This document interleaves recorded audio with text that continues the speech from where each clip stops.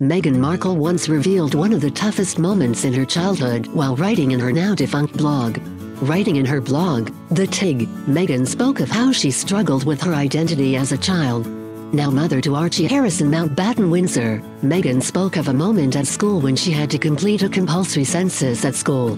Highlighting her struggle to be comfortable with her own identity, Meghan explained how she felt incomplete when asked to tick a box concerning her ethnicity. Writing in her blog, Meghan said, I didn't tick a box. I left my identity blank. A question mark, an absolute incomplete, much like how I felt. Although the task of ticking one box may appear to be a simple one, Meghan revealed that the consequences of ticking one option but not the other would only make her think of the sadness of one of her parents. She added, I put down my pen.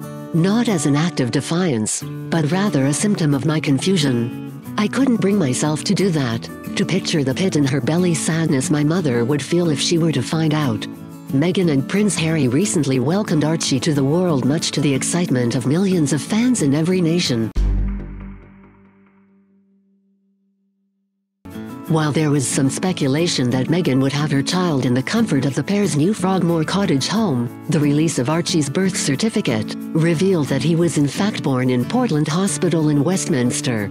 On top of the birth of their first child, the pair are also celebrating the anniversary of their marriage today. Since their marriage, Harry and Meghan have become active members of the royal family as the pair have visited multiple countries.